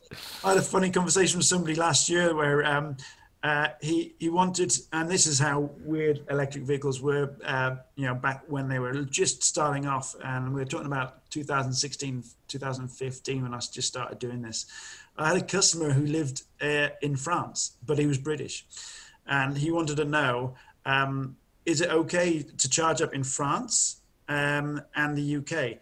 Um, and he was like, and I said, yeah, yeah, it's fine. Okay, the sockets might be different in a wall plug, um, but your charge sockets in Europe are kind of standardized ish. Back then it was a little bit still type one, type two, but standardized ish. But he kept on saying, no, no, no, what I mean is, is the electricity different in France compared to the UK? no. Like, okay, because my wife, she filled my petrol up with diesel last year when she was in France and she broke the, uh, broke the car. And was. So, and I tried to explain that you know, with electric, it's not like you can put in the wrong fuel. Electricity is electricity. It goes in, it's fine. You can't get petrol and diesel mixed up. well, maybe uh, DC or AC. Maybe he was talking about that. Either no, he no, knew no. too much or he didn't know enough. He, he, yeah, he probably knew enough to uh, basically confuse the hell out of himself. Yeah, and yeah, I had to bring it back to like, you know, have you got electric toothbrush? Yes. Does it work in the UK? Yes. When he charged it up in France, does it work? Yes. It's like that. the same. I just left it like that. That's cool. Yeah. So, are you having trouble finding techs to help you do all this stuff? Because it's a weird animal. Like it's like you got to be a mechanic, but you also got to be into computers, and you gotta like the past and you gotta like the future. So, it's not. There's not a lot of people that are like No, that. no, you're right. Especially There's- in the states, it's hard, right? It's e- um, you're either one or the two. There's three flavors of guys we've got out in the workshop. There's uh, fabricators, so we've got really ca- uh, talented fabricators that uh, make up the battery boxes and fabricate. We've got the mechanics, and the mechanics, um, you know, they do what they do. They drop out the engine gearboxes, they put in the, the motors, etc. And then we got the electrical guys, and those are the guys that Ah, put them out there. Separated them. so the EV technicians, they're the guys that, um, you know, they're, they're, the trouble is with the EV technicians, they're either working for Formula One teams or Jaguar or, you know, Nissan and places like that in corporate world. And they're pretty much, uh, you know, usually theoretical type guys working on laptops, etc. And they're very not hands-on. And then you've got um, the DIY hobbyist, the guy that kind of has converted as a bit like me. I started like that. Same with you. Same with Michael. DIY hobbyists uh, that are totally hands-on and uh, maybe you know know what they're doing uh, mechanically, but um, they're theoretical, maybe a little bit lacking. I prefer those guys. Those guys that you know are hands-on, and I will then get them trained up. So in the uh, again in the UK, there are um, training courses you go on if you're going to be working on electric vehicles. Um, so if you're working on electric vehicles, you know you, uh, I won't show you the certificates, but you, you need to have a certificate in level two, level three, etc. Et No way! Oh my God! Yes, you guys are totally more uh, regulated over there. Okay. So we, we I prefer to bring in people that kind of are more um, hands-on type EV technicians, and then maybe train them up. Um, because it, I think it's harder to bring somebody that is used to sitting on the bum on a laptop talking theoretical and then put them in a workshop environment like that and say right okay we're going to build a battery box. Here's some bus bars. There's some cell wires into a bms like this is how we're doing it. And like oh well i kind of like you know read books on this but i've never done it before well um, i feel more comfortable training up somebody that thinks they know what they're doing from a diy point of view up to a more professional like um, uh, you know point of view that uh, you know you're building cars for clients uh, as a business so Wow. but yeah, they're they're few and far between. But uh, Yeah, right. It's kind of a weird. Uh, it's new. It's a new breed of people essentially because this this didn't exist before. It's like a new market. Yeah, we we got three guys, three EV technicians here, and they're great. I mean, uh, what I like to do is uh, get people up to a certain level, and then you bring in a junior for them to train up, and then they become a little cell. So you have one cell uh, converting a, a stream of cars this way, another cell of like you know a, a- senior and a junior guy here. So you have two or three um, like uh, streams of uh, cars going through the workshop. Uh, Rather than everybody has to go through like me, or everybody has to go through Michael, or whatever. It's Yeah. you know, I still get out there to play because you know I don't run this uh, business to do anything other than play with cars at the end of the day. So Yeah, I, you- I hate being here. I like Yes. being out there. Yeah, I I struggle with that too. I don't want to do. I don't want to build cars for other people because I want to build my own. You know, I have so many ideas and I want to do. You know, I got. I'm getting a fleet of these. I don't know. I I sound like a broken record. Every guest that I have, I tell them. But uh, my idea is that since these are so weird, they're so expensive, and there's so much work that goes into it, like the average person can't get to drive them, right? And so only people that have a lot of money and they have a lot of time and they get it, you know, dump and stuff and they can wait a long time for Michael to convert there.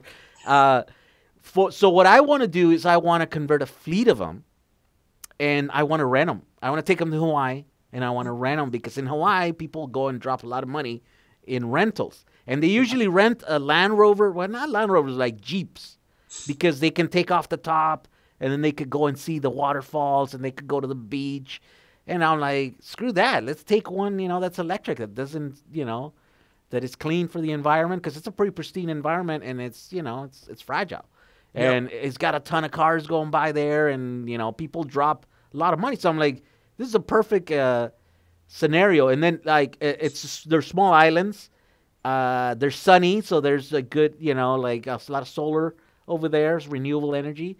And there's a slow uh, speed limit of 35 miles uh, across all the islands. so even brand new uh, highways are. So I'm like, it's perfect for these. You know, no one's gonna crash too too fast. I guess. You know, the the biggest thing is that they're going to like drive it off a cliff or something. that's about it.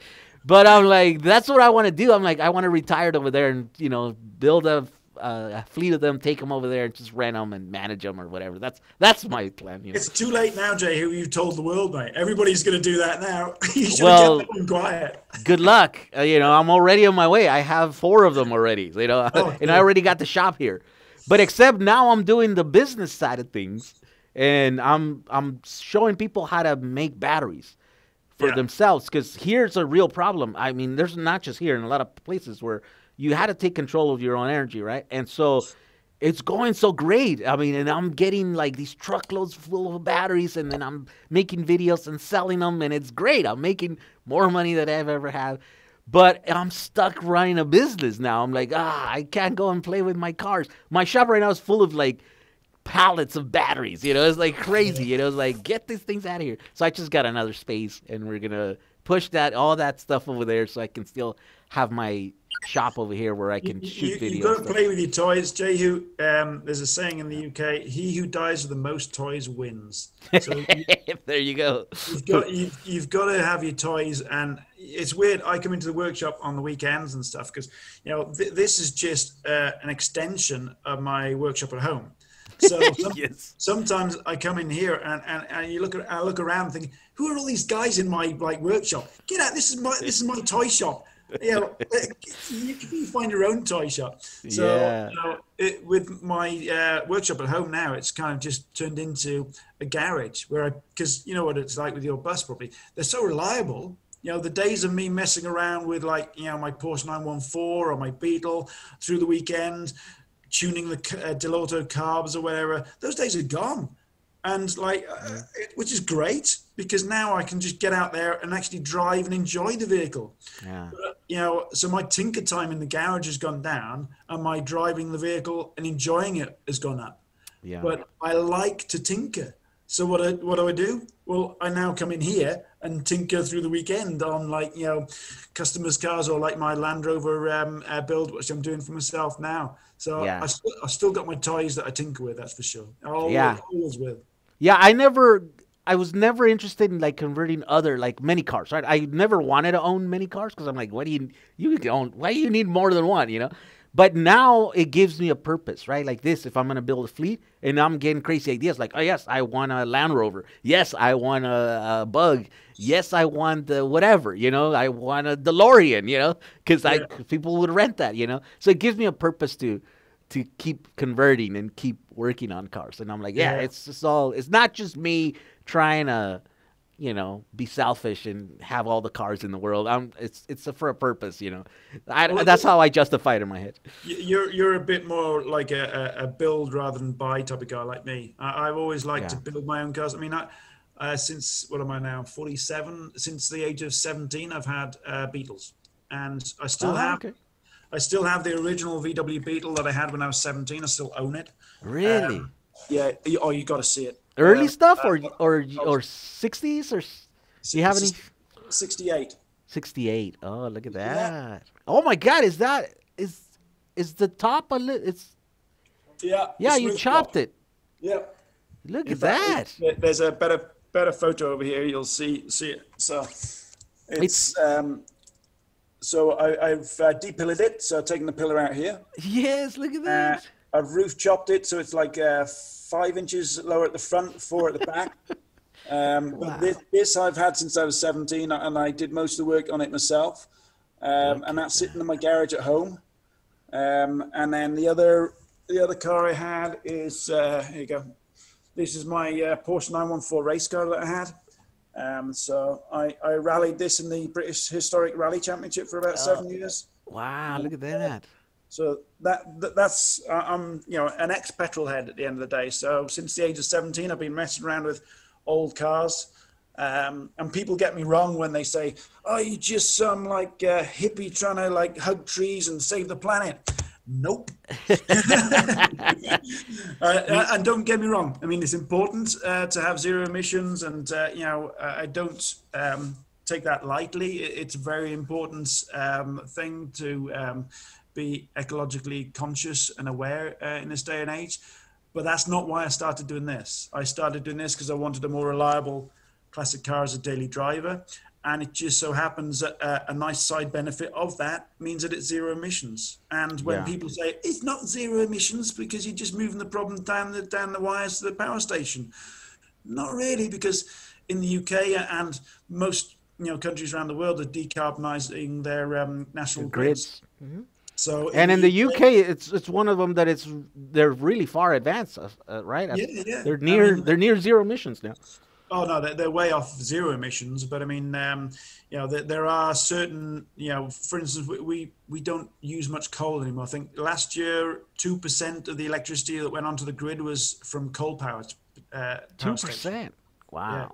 Yeah, because yeah, you have the offshore wind. Uh, I was talking to Ellen, uh, Robert Llewellyn, not yep. too long ago, and he was telling me about these things that they have over there in the ocean, right?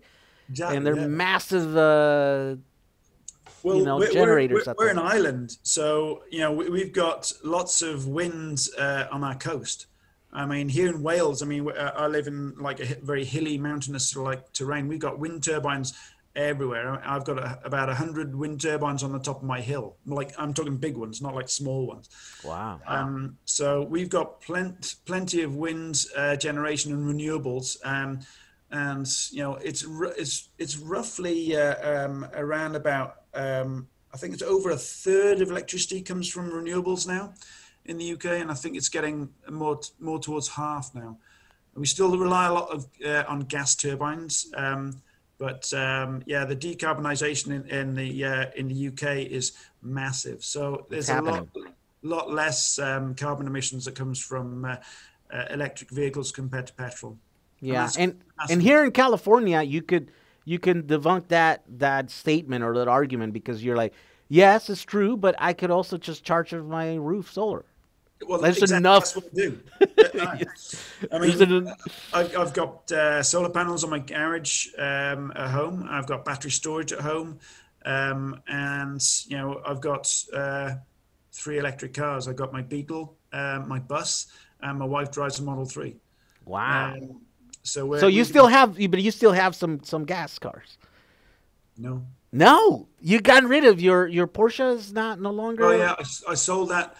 It, it, was I very rarely sell any of my toys because, as I say, he who dies with the most toys wins. Yeah. Uh, to sell one of my toys is rare, but the problem is with that that that um, and I, am looking up looking up the picture up on the wall in case you're wondering who, what I'm looking at. Yeah. Um, so uh, I, I, sold that um, because it's a rally car, and it was um, if you build a race car, you build it for the regulations that you run in that championship, and to turn it into a road car, it was not really possible. Ah, um, so, so, you couldn't drive to, it. I had to. I turned it into a bit of a track day car for a year to try to see if I can keep it. It just wasn't really suitable. So I sold it back into the rally community so that somebody could keep on rallying it.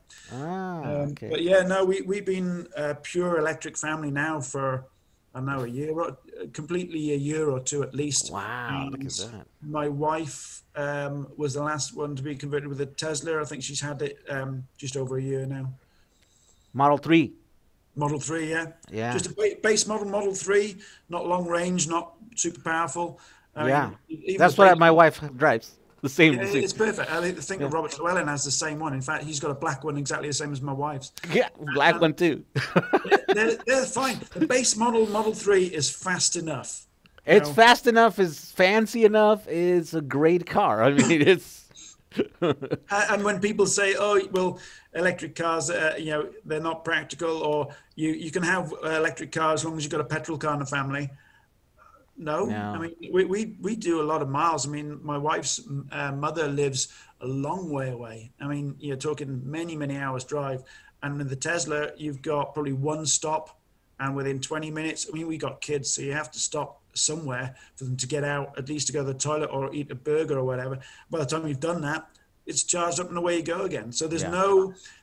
I mean, people might think that electric cars are impractical, but honestly, Yeah, I think it's changing quickly, and I think people are still a little bit behind. I think California is not such a big deal because we're everywhere. Like literally down my street, everybody's got Teslas now, and it's so strange because seven years ago, I'm the only crazy talking about electric cars driving an electric car, right? And there, I'm like, it's an experiment. I'm just some weirdo that builds his own car with the batteries. Like, what the hell? Now everybody's still a driving. in my eyes, mate. now it's like every every my neighbors have them. You're like what? Like that's crazy. Uh, mass adoption's happening. Even my mum, uh, uh, I won't mention her age, but she's uh, she's not young. Um, she's uh, considering an electric car now, and you uh, you know, for for no other reason than it's just easier to drive for somebody that you know. Uh, okay, automatics are fairly easy to drive, but you know, you still need to go Single geared though. Yeah, That's a that's a weird thing because I I have a truck right like that little pickup truck. It's a it's a Toyota or whatever, and it's automatic. But that thing sucks. Like uh, now that I drive electrics, and then I you could hear the, all the slippage of the gears, you know, and and it's Yeah. so annoying driving that thing. It, there's no better than a single gear. You're always engaged, Well, and you don't have to shift anything. The biggest um, like uh, like comparison I have like that was a motorbike. I mean, Okay. you know, I, I've I've got my my pickup the same as you, but my mine's the electric um, uh, uh, crew cab pickup, and you know I've got a tow bar on there. I use that to take uh, some of the vehicles to the paint shop, so I tow with it as well. So it's it's an all around practical vehicle for me. We go camping in it, surfing in it. I use it for family, work, use it for work, towing the lot. But um, the biggest like um, uh, comparison uh, or, or the biggest you know uh, surprise I had was getting on a, a, petrol motorbike and then getting on an electric one because I, I don't have a bike license. And my, my father rides motorbikes. I got on the back of his like um, he has a Yamaha and like those things like like in your you're describing your pickup uh, um, there, there's this like jerkiness when it changes gear, but in a motorbike, it's like aggressive. It's like, uh, and then you change gear, oh, and then off again, oh, and then you're off again, oh, and you next go, like is this normal? A, motor, a motorbike's supposed to be like this? Oh yeah, yeah, yeah, that- that's what it's like. And then I built an electric motorbike, which um, you, you might not have seen, and and that, as you say, it's single gear. Single gear. There's there's no clutch. There's like a front brake and a rear brake, and you know your your feet are essentially doing nothing. They are just sitting on pegs. Yeah. And when I, when I built this, and my dad came around because he, he's the biker, not me. He came around to ride it. He was like, "Okay, petrol's dead to me. I need to get electric motorbike." so um, No way. so you uh, uh, so this is um, uh, this is a Oh, there you go. Uh huh. So this is um, a petrol um, original Royal Enfield. So we took took one of those, and it's, they've been built since the 1950s and 60s. They're still built now in India. Um, so so we took a, one of those motorbikes, and then we converted it to electric, and we essentially made. Wow, look at that. Let's see if I can. There you go. And then we made that. Wow, look at that. So that's that's an electric version of essentially that one there, uh, and it's got single gears. There's no gears. It's actually a hub motor. So, so the Hub motor, motor. mo- motor's in there. There's no chain to maintain. There's no oil. Uh, it's just twist and go. Wow. But it's so easy to ride and so smooth. E- even even I can ride it, and I'm an idiot. wow. You know, I just had uh, Charley Boorman. Oh, cool. Uh, he, yeah, I mean, I was like, so why, why electric? You know, and they're like, oh, it's just a crazy idea and stuff. And now they just finished the thing, right? I mean, that was a year ago or whatever, and, and the show just aired, finished airing not too long ago. But yeah, it's, he's like, I love these. Now he's driving a Tesla, I think. so Yeah, he's I converted. what- you know, just like Once you go electric, you don't go back. I mean, who, who, who do you know that's gone electric and gone, you know what, it's not really for me, I'm going to go back to petrol? yeah. It doesn't happen. So once you go electric, you don't go back. Yeah, no, you gotta. There's nothing. I mean, noise. I guess if you love the noise, but you know, it's uh, who likes the noise. I, I guess it's nice. You know, when you're you're inside the car and you're going. the noise is fine. It's just not fine for everyone else that's not inside the car. if you're at the track, the the sound. I've I've been in a NASCAR car with a NASCAR driver. It's it's nice. It's like you feel the power, you hear the power, you know that whole thing. But I've also been on a track, um, with in a Tesla Model S, you know, and I'm like, that's just as thrilling. That is just as powerful. That's just as exciting as uh, a NASCAR car. You know, it's Yeah, just we, like we, we've converted uh, two Ferraris, and you know, the Ferrari is known for its V8 and its noise and stuff like that. Uh, two two 308s like Hutch and uh, Michael Mm-hmm. uh, did that 308 a number of years back. Yeah. And uh, so we put Tesla drive units in it. So we put a large Tesla drive unit. It was 0 to 60 in like three seconds. It was nuts. Um, so we've done two of those.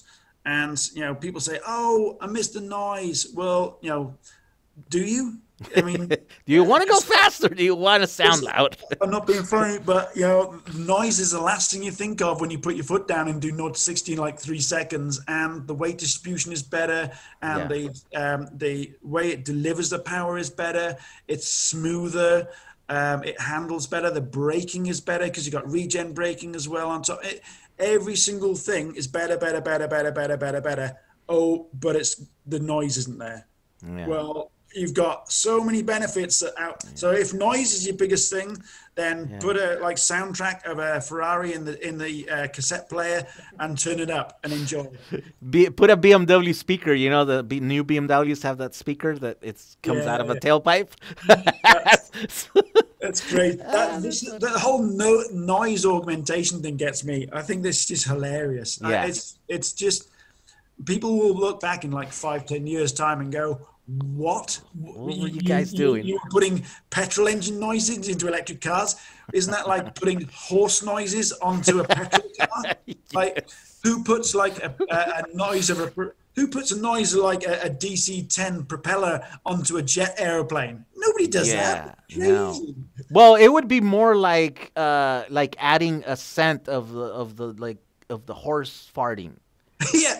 Right? Something that's completely useful useless cuz the noise is useless. Like what do you Yeah. need the noise for? Maybe I should uh, on the uh, split screen. I should dip like uh, one of those uh, air fresheners in the engine oil and then like, hang it from hang it from the uh, mirror and just have that like old smell. So when you when you put the heater on, it blows the like petrol smell and exhaust fumes through the heater. There you go. Man, we could we can make a product and I probably sell that. Pe- petrol petrol and like uh, uh, fu- uh, petrol fume smelling air fresheners. There you go. Te- Tesla Tesla owners will just lap it up. Yeah. Oh well. Hey, well, listen, it's very good to talk to you. Uh, pretty exciting what you guys are doing over there. Uh, you got to catch the the TV show. Definitely, we're gonna now that we know that it's on Apple TV. Uh, pretty exciting and pretty, you know, pretty proud of you guys because you guys making the TV show that we wanted to make.